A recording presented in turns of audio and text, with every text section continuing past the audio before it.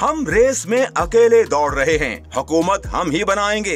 राजा रियाज। राजा रियाज के हलके में हमारे तीन उम्मीदवार हैं, वलीद इकबाल। हम तो पंजाब में अलीम खान के वज़ीर आला बनने का सुन रहे हैं। काशिफ अब्बासी की खबर ने मुस्लिम लीग नून की उम्मीदों पर पानी फेर दिया।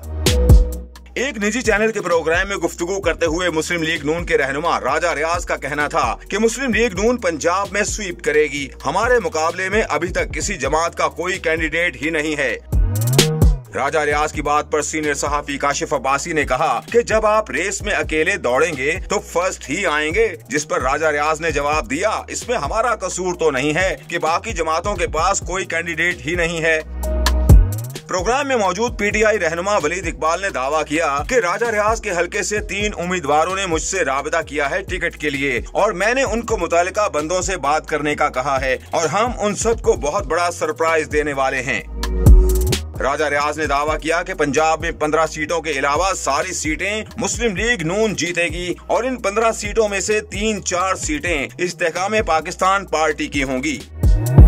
काशिफ अब्बासी ने फ़ौरन कहा, क्या तीन चार सीटों से अलीम खान वज़ीर आला बन जाएँगे? क्योंकि खबरें तो ये हैं कि पंजाब की वजारत आला अलीम खान को मिलेगी और शायद ये खबर आप तक भी पहुँच गई हो।